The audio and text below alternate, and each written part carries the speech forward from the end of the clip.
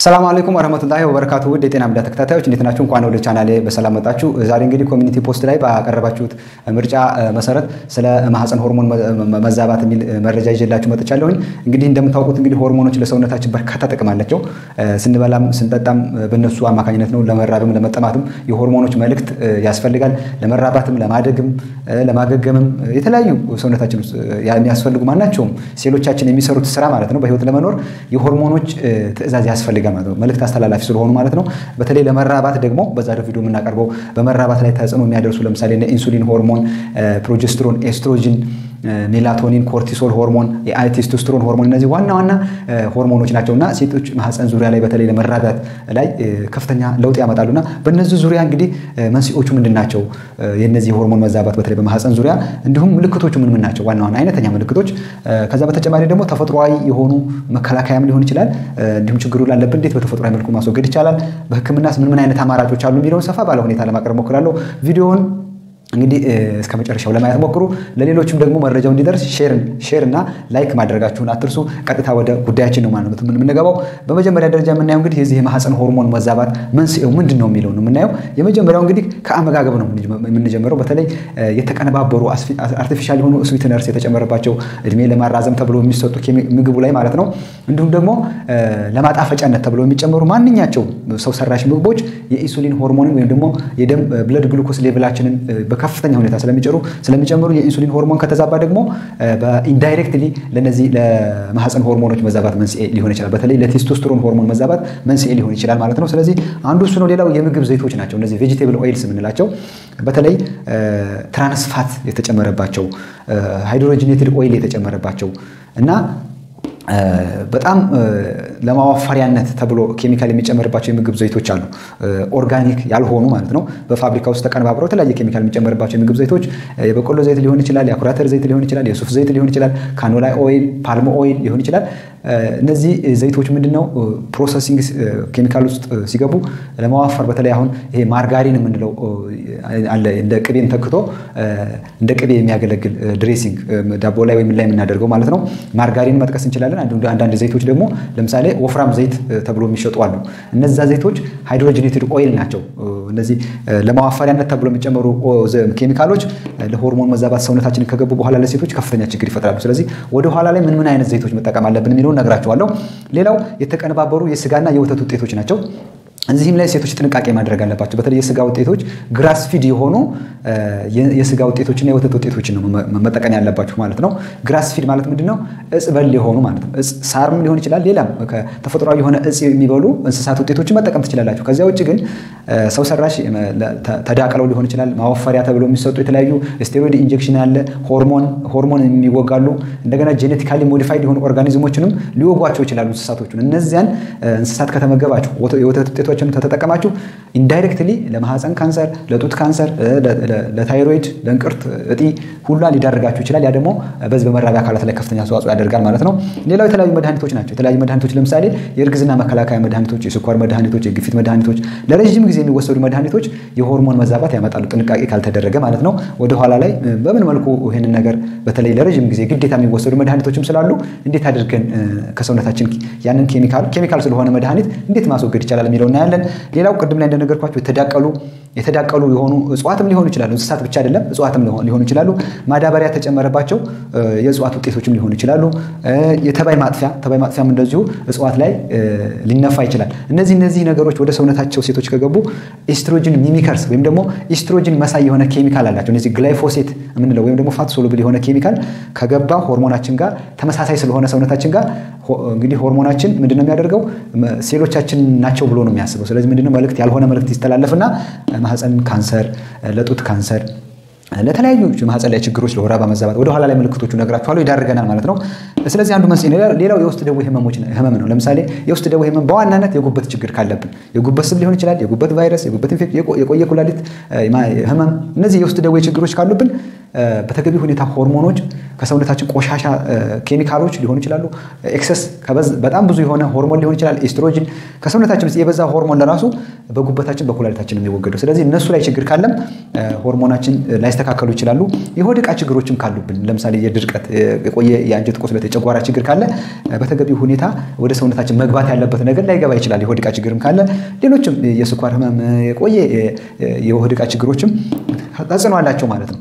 ስለዚህ አንዱ መንስኤ ነው። ሌላው ተደጋጋሚ ውጥረት ወይም ይሄ cortisol ሆርሞን የምንለው ማለት ነው። የ cortisol ሆርሞን actually እንግዲህ በዕለት ከዕለት ኑሯችን እንግዲህ physical አካላዊ ውጥረት ሊሆን ይችላል፣ ስነ ልቦናዊ ውጥረት በተለይ ሴቶች በተለያየ ምክንያት ጫና ይበዛባቸዋል። ያ ጫና የ cortisol ሆርሞን እንዲበዛ ያደርጋል በደማችሁ ውስጥ። cortisol ሆርሞን ደግሞ ከበዛ indirectly ለነዚህ ለመራቢያ አካላት ሆርሞኖች መዛባት መንስኤ ሊሆን ይችላል። ስለዚህ ጭንቀት፣ ውጥረት፣ መጨናነቅ ምናምን የምታበዙ ሴቶች አሁን በተለይ ልጅም ለማርገዝም ከፍተኛ ተጽዕኖ ይፈጥርባችኋል ማለት ነው። ስለዚህ ተጽዕኖ ያደርሳል። ሌላኛው የቪታሚንና የሚኔራል እጥረት ነው። ቪታሚኖችና ሚኔራሎች ከፍተኛ አስተዋጽኦ አላቸው። እንደ precursor ናቸው። ሰውነታችን ሆርሞንም እንዲመረት ያደርጋሉ። ቪታሚንና ሚኔራሎች እጥረት ካለ ከምንመገበው ምግብ ሊሆን ይችላል ችግሩ፣ ወይም ደግሞ ከሆድ ዕቃ ችግር ወደ ሰውነታችን በትክክል ሳይገቡ ሲቀሩ፣ ካልሆነ ደግሞ vegan የሆኑ ሰዎች አሉ። ደግሞ አትክልትና ፍራፍሬዎችን እየተመገቡ የስጋ ውጤቶችን የማይመገቡ ከሞራል ወይ ከሃይማኖት ጋር አገናኝተው vegan የሆኑ ሰዎች አሉ፣ እጽዋትን ብቻ የሚመገቡ። እነዚህም አሁን ለቪታሚንና ለሚኔራል እጥረት ተጋላጭ ናቸው። በተለይ ለዚንክ እጥረት፣ ለ iron እጥረት፣ ለቪታሚን B12 እጥረት ተጋላጭ ናቸው። ስለዚህ እነሱንም እንዴት አድርገን ወደኋላ ላይ ማካካስ ይቻላል vegan ለሆኑ ሰዎች የሚለው እናያለን። ቦርጭ ነው ሌላው መንስኤ ማለት ነው። በተለይ የኢንሱሊን ሆርሞናችን ጣፋጭ ምግቦችን የምናበዛ ከሆነ የተቀነባበሩ ሊሆን ይችላል። የምግብ ዘይቶች ሰውነታችን ላይ weight add ያደርጋሉ። በጣም ክብደት እንድንጨምር ያደርጉናል ማለት ነው። ስለዚህ ቦርጭ እንዳልኳችሁ የኢንሱሊን resistance ም ሲኖር ስለሆነ የሚከሰተው አንዱ ምልክት ነው ማለት ነው። ቦርጭ ካለ የማህፀን ሆርሞኖች ላይ በተለይ ይሄ የቴስቶስትሮን ሆርሞን መዛባት ምልክት ስለሆነ ቦርጭ አንዱ መንስኤ ነው ማለት ነው። ቦርጭም አስተዋጽኦ አለው ማለት ነው። ሌላው የእንቅልፍ ሁኔታ ነው። በተለይ እንቅልፍ ሁኔታ እንግዲህ በበቂ ሁኔታ እንቅልፍ የምንተኛ ከሆነ ወይም ደግሞ ይሄ circadian rhythm የምንለው biological clock ኣችን melatonin የምንለው ሆርሞን ደማችን ውስጥ ካለ በተመሳሳይ ሰዓትና ጊዜ እየተኛን የምንነሳ ከሆነ ሆርሞናችን የተስተካከለ balanced ነው የሚሆነው። ስለዚህ እንቅልፋችን ላይ ግን የተዛባ ነገር ችግር ካለ ለማህፀን ሆርሞኖች መዛባት መንስኤ ሊሆን ይችላል። ሌላው ፕላስቲኮች ናቸው። ፕላስቲኮች እንግዲህ ስንጠጣ በተለይ የታሸጉ ውሃ የታሸገ ውሃ ሊሆን ይችላል። ፕላስቲኮቹ ለሙቀት ከተጋለጡ ማንኛውም ፕላስቲክ ለሙቀት ከተጋለጠ ሻይም ስንጠጣ ይሁን ፀሐይም ላይ ተጋልጦ ፕላስቲክ ከተጋለጠ የተለያዩ ኬሚካሎችን ወደ ውሃ ውስጥ release ያደርጋል፣ ይለቃል። ያ ደግሞ ወደ ሰውነታችን ሲገባ ለሆርሞን መዛባት ይሄ ለሴቶችም ብቻ ሳይሆን ለወንዶችም ነው። ስለዚህ የታሸጉ ምግቦችን ሊሆን ይችላል የታሸገ ውሃ ሙቀት ላይ ማጋለጥ የለብንም ማለት የተለያዩ ኬሚካሎች ለምሳሌ BPA፣ parabens የሚባሉ የተለያዩ ኬሚካሎች ፕላስቲኩ ላይ ስላሉ ሲሞቅ በሙቀት አማካኝነት ወደ ውሃው ይገባሉ። ያ ደግሞ ለካንሰር ሴሎች ለብዙ ለማህፀን ችግር ይዳርጋል ማለት ነው። እንዲሁ የውበት መጠበቂያዎችም ሊሆኑ ይችላሉ። የንጽህና መጠበቂያም ሊሆን ይችላሉ። የውበት መጠበቂያ ለምሳሌ የተለያዩ ሻምፖዎችን፣ ኮንዲሽነሮችን፣ ሎሽኖችን ብዙ ነገር ቆዳችን ላይ የውበት መጠበቂያ ሜካፖች እንጠቀማለን። እነዚያ almost 60 ፐርሰንታቸው ወደ ሰውነታችን ይገባል እና ያ ደግሞ ለዚህ ለማህፀን ችግሮች ይዳርገናል። ኬሚካሉ ማለት ነው ሰውነታቸው ውስጥ ሲገባ የንጽህና መጠበቂያዎች በተለይ ለጥርስ ማጽጃነት የምንጠቀመው fluoride ያላቸው የጥርስ ማጽጃዎችም ኬሚካል አላቸው። እነሱን ማስወገድ ነው። ሌላው የመጨረሻው ከኬሚካል ጋር የተገናኘ የማብሰያ pan ኦች ናቸው። ምግብ የምናበስልባቸው የተለያዩ ብረት ነገሮች አሉ። ከዚያ ውጭ ግን ለምሳሌ የአልሙኒየም በአልሙኒየም እቃዎች የምናበስል ከሆነ በቴፍለን የምንለው ሌላ የእቃ ማብሰያ አለ።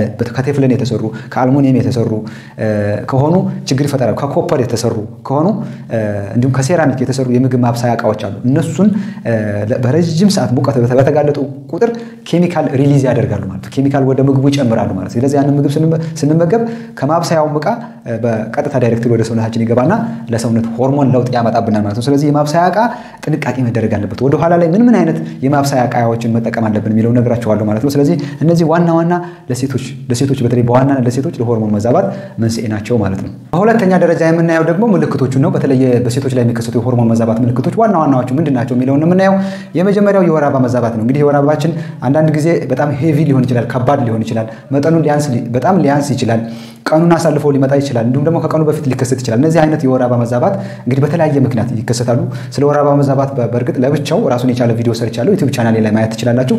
ቢሆንም ግን እነዚህ የሚከሰቱት በብዛት እነዚህ የኢስትሮጅን እና የ progesterone ሆርሞኖች በተለይ የታይሮይድን ሆርሞን ጨምሮ ማለት ነው በትክክል ስራቸውን ሳይሰሩ ሲቀሩ ወይ የኤስትሮጅን ሆርሞን ከፍ ሲል ወይ ሲያንስ progesterone ም እንደዛው ከፍ ዝቅ ማለት ከመጠናቸው ማለት ነው ሲኖር የወር አበባችን ይዛባል ማለት ነው። ስለዚህ በዋናነት ይሄ ችግር ይከሰታል። በሁለተኛ ደረጃ ከፍተኛ ድካም ነው። ይሄ fatigue የምንለው ማለት ነው። ድካም እንግዲህ ሆርሞኖች እንደነገርኳችሁ የዕለት ከዕለት ስራዎቻችን ለመስራት ከፍተኛ አስተዋጽኦ አላቸው እና በቂ የሆነ በተለይ እንቅልፍ የማንተኛ ከሆነ ሆርሞናችን የተስተካከለ ካልሆነ ይሄ የሜላቶኒን ሆርሞን የምንለው ማለት ነው እሱ በበቂ ሁኔታ ከሌለ ወይም ደግሞ የ cortisol ሆርሞን ከበዛ ሰውነታችን በተገቢ ሁኔታ ስራውን መስራት አይችልም። ስለዚህ የሆርሞን አንዱ በሴቶች ላይ የሚከሰተው አንዱ ችግር ምንድን ነው? ሆርሞናቸው በትክክል ጤናማ ካልሆነ ድካም፣ በተደጋጋሚ እንቅልፍም ተኝተው ድካሙ አይለቃቸው ማለት ነው። ስለዚህ አንዱ የሆርሞን መዛባት ምልክት ነው ማለት ነው፣ ድካም ማለት ነው። ሌላው የ mood መለዋወጥ፣ የጸባይ መለዋወጥ፣ ይሄ mood swing የምንለው ማለት ነው። ጸባይ constant አይሆንም። በተለይ ሴቶች አሁን የታይሮይድ ሆርሞን መብዛት ሊሆን ይችላል። እንዲሁም ደግሞ እነዚህ የ progesterone ሆርሞን ይሄ ለሴቶች በተለይ የፕሮጀስትሮን ሆርሞን በጣም ከፍተኛ ለጸባያቸው እንቅልፍ እንዲተኙ የፕሮጀስትሮን ሆርሞን ጤናማ መሆን አለበት፣ የተስተካከለ መሆን አለበት። እንደውም እሱ happy ሆርሞን ነው የሚባለው ለሴቶች እንቅልፍ እንዲተኙ ጤናማ እንዲሆኑ mood ኣቸውም stable እንዲሆን የሚያደርገው የፕሮጀስትሮን ሆርሞን ነው እና እሱ ካነሰ ወይ ከበዛ ጸባያቸው ይቀያየራል ማለት ነው። ሌላው መካንነት ነው፣ መውለድ አይችሉም። infertility ማለት ነው። infertility እንግዲህ በተለያየ በሆርሞኖች መንስኤ ሊሆን ይችላል ማለት ነው። ማህፀን ላይ እንግዲህ ከእጢዎች በተጨማሪ መካንነት በሆርሞን መዛባት ችግር በተለይ ይሄ የጡት ሆርሞን መዛባት የምንለው ይሄ ፕሮላክቲን ሆርሞን ከተዛባ ወይ የፕሮጀስትሮን ሆርሞን ወይ የኢስትሮጅን ሆርሞን መጠናቸው ካነሰ ከመጠን በታች ነው እንቁላል እንዲመረት የሚያደርጉ እነዚህ ሆርሞኖች ናቸው። ማህፀንን የሚያለሰልሱ እነዚህ ኢስትሮጅንና ፕሮጀስትሮን ናቸው። እነሱ በመጠን ካነሱ እንቁላልም እንዲመረት induce ካላደረጉ ካላበረታቱ መካንነት ሊከሰት ይችላል። ስለዚህ የሆርሞን መዛባት ምልክት ነው ማለት ነው መካንነት። ሌላው የክብደት መለዋጥ ነው። ክብደታቸው በተለይ የኢስትሮጅን ሆርሞን በሰውነታችን ውስጥ የበዛ ሴቶች ምንድነው የሚሆኑት? excess weight ክብደት ይጨምራሉ ማለት ነው። በተለይ የታይሮይድ ሆርሞን እንደዚሁ በጣም ዘገምተኛ ከሆነ hypothyroidism የምንለው ዝቅተኛ የሆነ ታይሮይድ መጠንም ካለ ክብደታቸው በጣም ዝቅተኛ ይሆናል። የታይሮይድ ሆርሞን ደግሞ በጣም ከፍ ሲል በጣም ቀጭን ይሆናሉ ማለት ነው። ስለዚህ የክብደቱ መጠን ይለዋወጣል። ይሄ ክብደቱ በተለይ ፈጣን የሆነ የክብደት ለውጥ ሲኖር የሆርሞን መዛባት ምልክት ነው። ሌላው ወሲባዊ ችግሮች ናቸው። ሴቶች ላይ የሚከሰት የወሲባዊ ችግር ለምሳሌ በወሲብ ጊዜ ህመም ሊሆን ይችላል። ከፍተኛ ህመም ማለት ነው። ሌላው የብልት መድረቅ ሊሆን ይችላል። በግንኙነት ጊዜ የብልት መድረቅ ካለ በተለይ የኢስትሮጅን ሆርሞን ማነስ ያለባቸው ሴቶች በወሲብ ጊዜ ህመምና የብልት መድረቅ ይኖራል ማለት ነው። ስለዚህ እነዚህ እነዚህ የወሲባዊ ከወሲብ ጋር የተገናኙ ችግሮች ካሉ የሆርሞን መዛባት ምልክት ነው። ሌላው የጡት ህመም ነው። ጡት ላይ እንግዲህ በተለይ የኢስትሮጅን ሆርሞን ችግር ካለ የአንድሮጅን ሆርሞን ይሄ ቴስቶስትሮን የምንለው ሆርሞን ከበዛ የኢስትሮጅን መጠን ከበዛ ጡት አካባቢ ላይ እባጭ ሊፈጠር ይችላል። እጢዎች ሊፈጠሩ ይችላሉ። ጠጣርም ሊሆን ይችላል ፈሳሽ። ስለዚህ ይህም reproductive organ አንዱ ስለሆነ የጡት ህመም እና እጢዎች ካሉ ይሄ የሆርሞን መዛባት ችግር ነው ማለት የማህፀን ሆርሞን መዛባት። ሌላው የእንቅልፍ መዛባት ነው። በተለይ ይሄ የሜላቶኒን ሆርሞን የምንለው እንቅልፍ ስንተኛ በሰውነታችን ውስጥ በደማችን ውስጥ ጤናማ የሆነ እንቅልፍ ስንተኛ የሚፈጠረው ሆርሞን ይሄ ደስታ እንቅልፍ በቃ ቅልል ብሎን እንድንውል የሚያደርገን ሜላቶኒን ሆርሞን ከሌለ የእንቅልፍ መዛባት ይኖራል። ይሄ ሆርሞን ደግሞ እጥረት ካለ እንቅልፍ መዛባት ነው። ይሄ ደግሞ አንዱ ምልክት ነው። ሌላው ብጉር፣ ላብ በተለይ እነዚህ menopause ላይ ያሉ እንግዲህ ያው ሆርሞኖች እንግዲህ በተለያየ ጊዜ የተለያየ መጠንና ይዘት ይኖራቸዋል።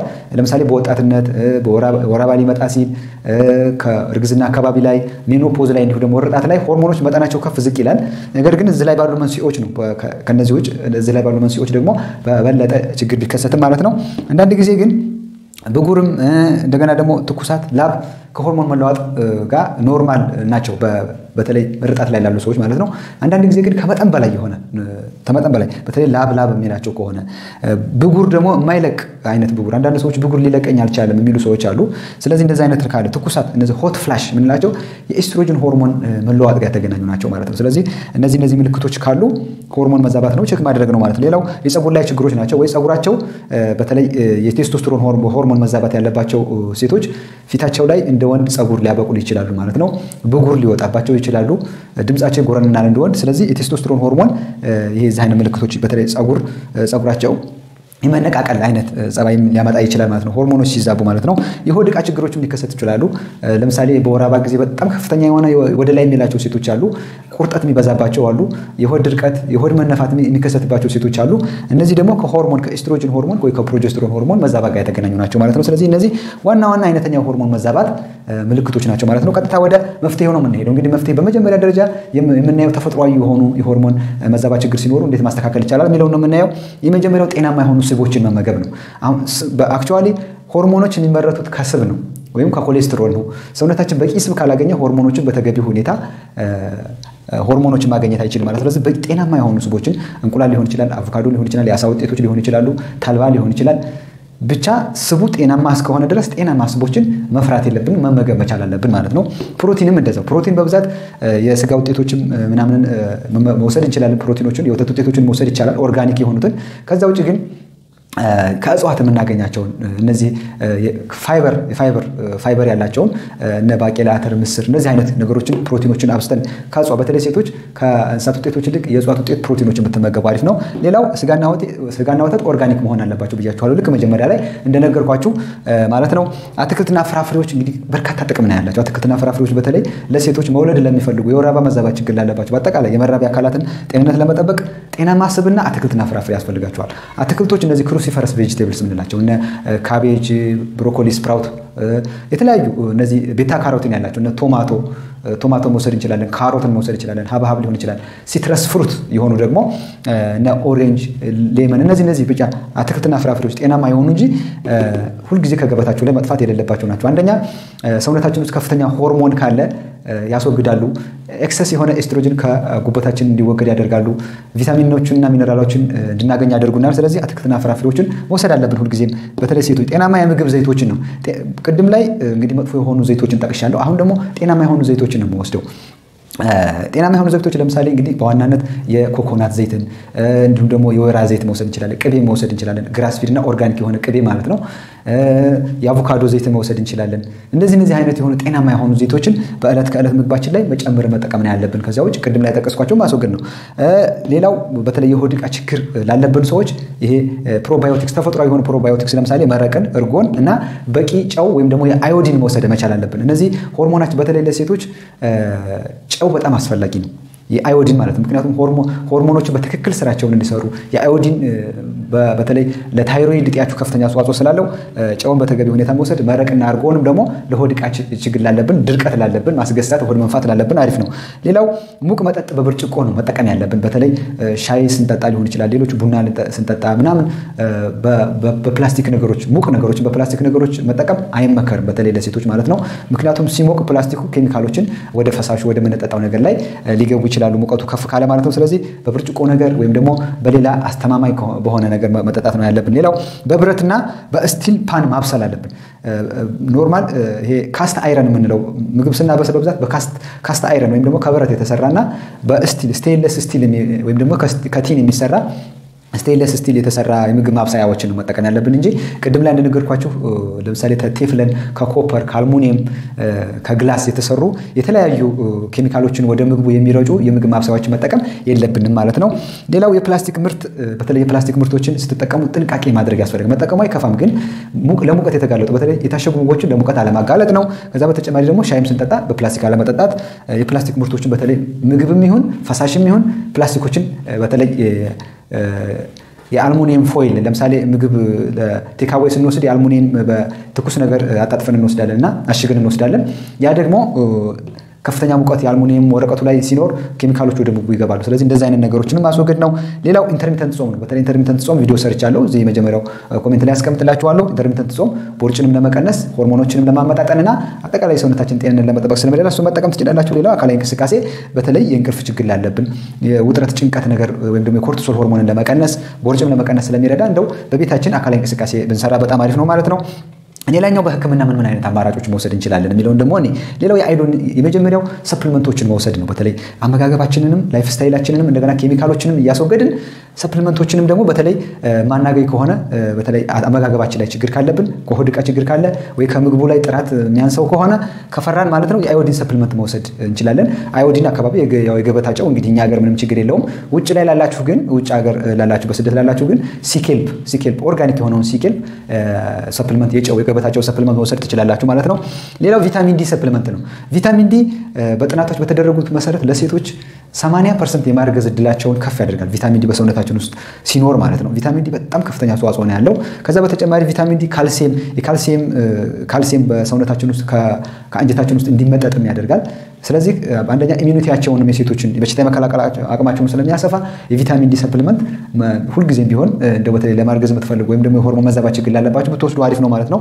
actually check ብትደረጉ መጀመሪያ ጥሩ ነው ማለት ነው።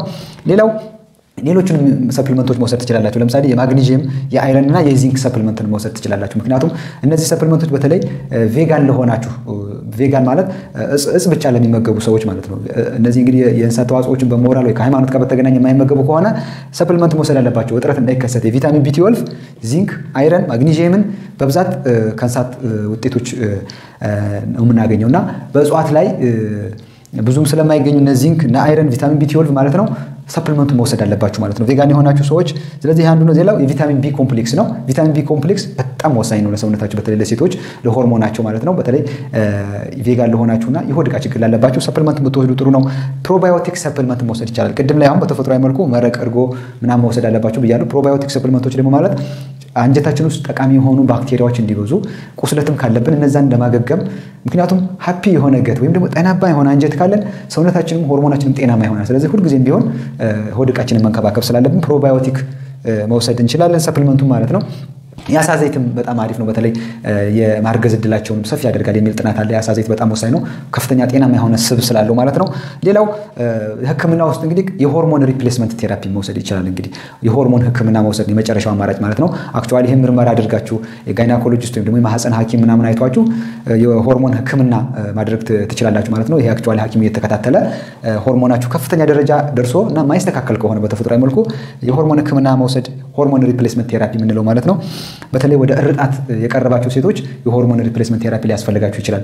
በዛ ሰዓት ሆርሞን መዛባቱን ከፍተኛ ስለሚሆን ማለት ነው። ሌላው የ estrogen cream ነው። የ estrogen cream actually በተለይ ከወሲብ ችግሮች ጋር የተገናኙ ሴቶች አሁን ለምሳሌ በወሲብ ጊዜ እንዲሁ ገና ብልታቸው የመድረቅ ግንኙነት ሲያደርጉ ህመም ካለ ይህንን የ estrogen cream መቀባት ይቻላል ማለት ነው ብልታቸው ላይ። ይሄ ምንድነው የብልቱን እርጥበት ለመጠበቅና ጤናማነቱን ለማለት ከፍተኛ እርግዝናም እንዲፈጠር ስለሚያደርግ የ estrogen cream መጠቀም ትችላላችሁ ማለት ነው።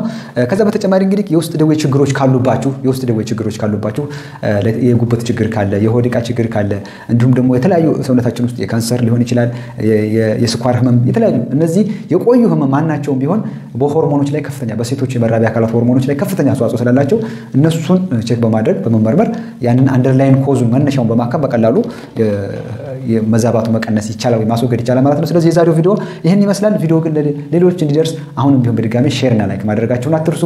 የዛሬውን ቪዲዮ በዚሁ ጨርሻለሁ። በሌላ እንገናኛለን። እስከዚያው ድረስ ቸር ሰንብቱ።